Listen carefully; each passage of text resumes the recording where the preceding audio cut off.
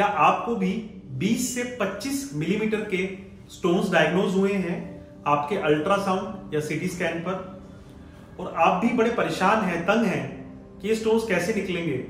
बीमारी आ तो जाती है बट जानी मुश्किल हो जाती है।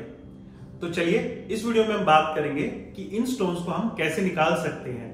नमस्कार, मेरा नाम है डॉक्टर दीपांशु गुप्ता। मैं सीनियर कंसल्टेंट यूरोलॉजी एंड्रोलॉजी हूँ क्योर स्टोन के साथ। चलिए शुरू करते हैं इस वीडियो को। सबसे पहले हमको यह समझना होगा कि अगर किडनी स्टोन बन रहे हैं और उसको नेचुरल तरीके से हमारे शरीर से निकलना है तो क्या रास्ता रहता है?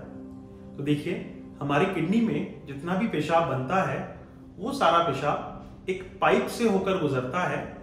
उस पाइप को हम यूरेटर बोलते हैं। इस यूरेटर की जो चौड़ाई है, इंटरनल डायमीटर है, वो कोई तीन से चार मिलीमीटर का होता है। तो सारा पेशाब किडनी से होकर इस पाइप तक जाता है। इस पाइप से होते हुए वो पेशाब की थैली तक जाता है। पेशाब की थैली में दोनों तरफ़ की किडनियों का पेशाब इकट्ठा होकर रहता है। फिर जब ये भर जाती है, तब यूरिथ्रा से शरीर से बाहर निकलता है। तो अगर कोई पत्थर बन रहा है किडनी में और उसको नेचुरल तरीके से निकलना है तो उसको भी यही रास्ता लेना होगा।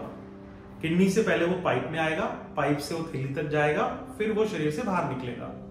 तो छोटे पत्थर जो है तीन एम एम चार एम एम पाँच एम तक के भी कई की बार वो अपने आप इस रास्ते से गुजर के निकल जाते हैं। लेकिन अगर पत्थर का साइज़ 20 से 25 मिलीमीटर का हो गया है तो ज़ाहिर सी बात है कि इतना बड़ा स्टोन इस पतली सी पाइप से नहीं गुजर पाता है। इसलिए वो किडनी में फंस कर रह जाता है।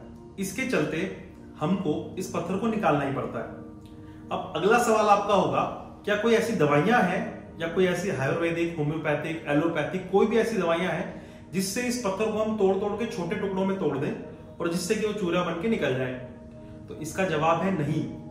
ऐसी कोई दवाइयाँ अभी नहीं है जो कि इस पत्थर को तोड़कर छोटे टुकड़ों में कन्वर्ट कर दे। अगर हम 100 प्रतिशत स्टोन की बात करते हैं तो कुल मिला के तीन से चार प्रतिशत स्टोन ऐसे होते हैं जिनको फिर भी दवाइयों से निकाला जा सकता है। लेकिन जो आम जनता को, जो सब लोगों को स्टोन्स बनते हैं, वो कैल्शियम ऑक्सलेट के रहते हैं। कैल्शियम ऑक्सलेट पे दवाइयाँ असर करती हैं बट ऐसा नहीं है कि वो 20 एम mm के स्टोन को 3 एम चार एम में कन्वर्ट कर दे, जिससे कि वो निकल जाए। तो ऐसी दवाइयाँ कहीं पर भी अवेलेबल नहीं है, ना हमारे एलोपैथी में है, ना किसी और फ़ील्ड ऑफ़ मेडिसिन में है। तो तो इनका करना क्या है? तो इन स्टोन्स को हमको रिमूव ही करना पड़ता है। इनको रिमूव करने के लिए हमारे पास तीन मेथड्स हैं। सबसे पहला है R I R S R I R S मतलब रिट्रोग्रेड इंट्राइनल सर्जरी इस प्रोसीजर में हम पेशाब के रास्ते से एक बिल्कुल पतली सी दूरबीन लेकर जाते हैं। ये दूरबीन फ्लेक्सिबल दूरबीन होती है।